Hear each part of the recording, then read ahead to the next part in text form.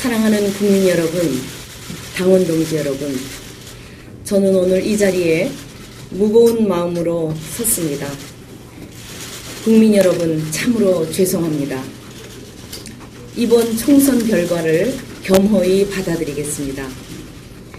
그동안 여러분께서 민주통합당에게 보내주셨던 성원과 기대 참으로 컸습니다. 민주통합당 전당대회에서 저에게 맡겨주셨던 소임 소중했습니다. 지난 4년의 과거를 마감하고 새로운 시대를 열어야 한다는 그 명령, 이명박 새누리당 정권을 심판하고 민생 국회로 만들어야 한다는 그 열망을 충분히 이끌어내지 못했습니다. 이번 총선 민심은 이명박 정권에 대한 심판이었습니다. 이 심판에 공감하는 수많은 시민들을 투표장으로 모시지 못한 책임은 전적으로 저희에게 있습니다. 혼신의 힘을 기울였지만 국민의 기대를 받아 안지 못했습니다. 제가 취임한 90여일은 참으로 짧은 기간이었지만 많은 일이 있었습니다. 역사상 처음으로 전국적 포괄적 야권 연대를 이뤄냈습니다. 이것은 이명박 정권이 파탄낸 민생 경제를 살리고자 하는 민생 연대였습니다.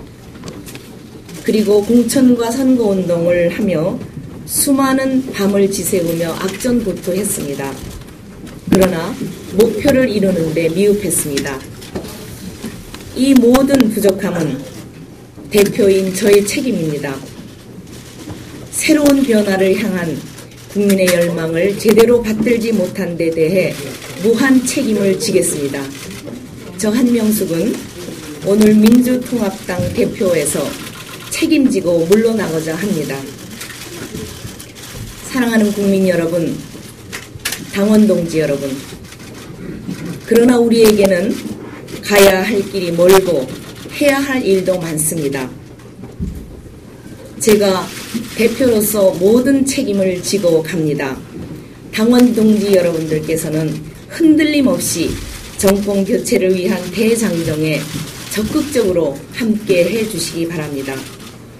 이번 총선에서 보여주신 민심에서 교훈을 찾고 성찰과 자기 혁신에 매진하겠습니다. 정권 교체를 위한 전화 위복으로 정권 교체를 위한 전화 위복의 기회로 삼겠습니다.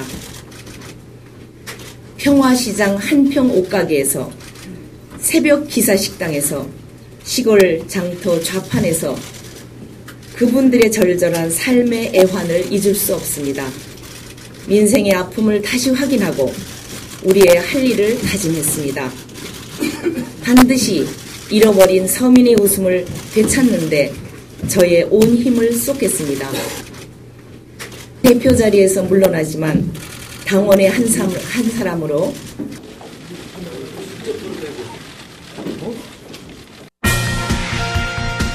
천지일보의 영상뉴스 천지TV에서는 시청자 여러분의 제보를 받습니다. 시청자와 네티즌 여러분의 많은 참여 기다립니다.